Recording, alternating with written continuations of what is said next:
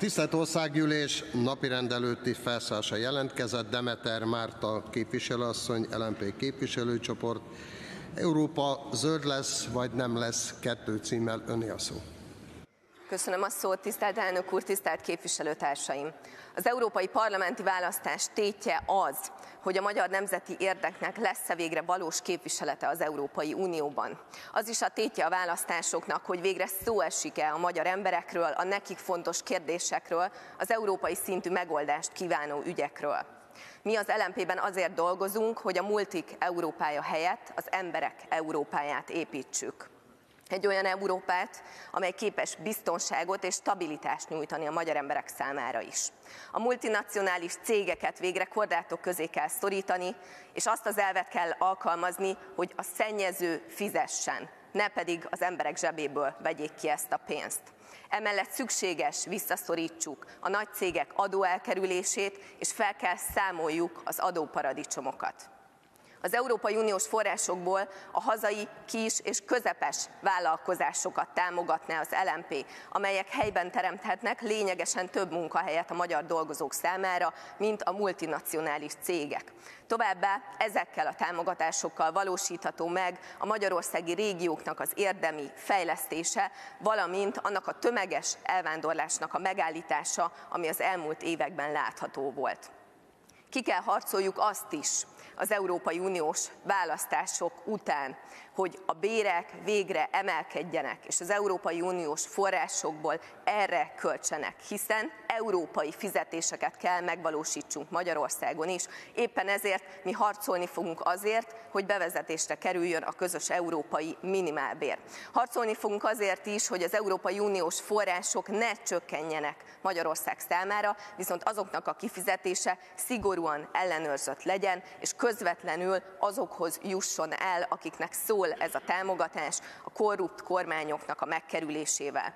Mielőbb el kell fogadjunk egy Európai Uniós klímatervet, hiszen gyermekeink jövője múlik ezen. Egy olyan szabályozásra van szükség, amely végre tiszta levegőt, tiszta ivóvizet és jól működő hulladékgazdálkodást eredményez, és ezt tudja biztosítani a magyar emberek számára.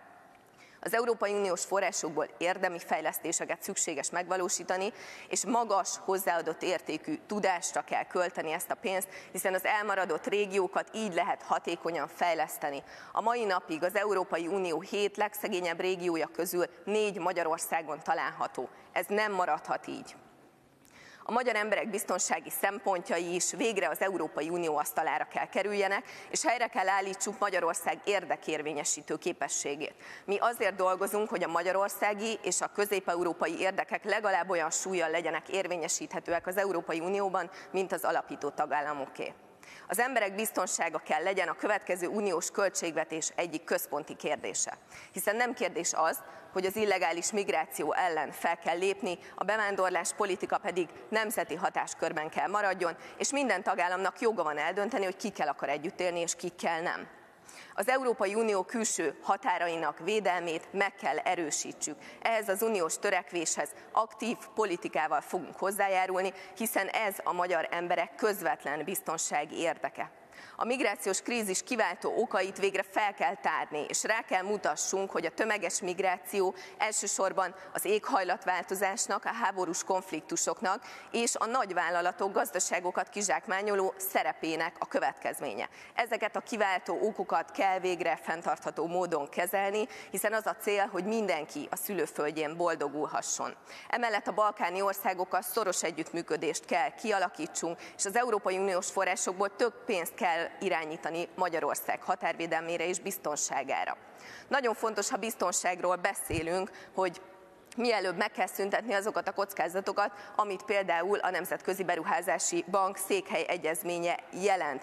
Hiszen ez nem csak a putyini illegális hírszerzési tevékenységet segíti, hanem a pénzmosási, pénzmosás elleni és a terrorizmus finanszírozása elleni szabályok megkerülésére is alkalmas, tehát fel kell mondani ezt a szerződést, és el kell számoltatni azokat, akik meglopták a magyar adófizetőket.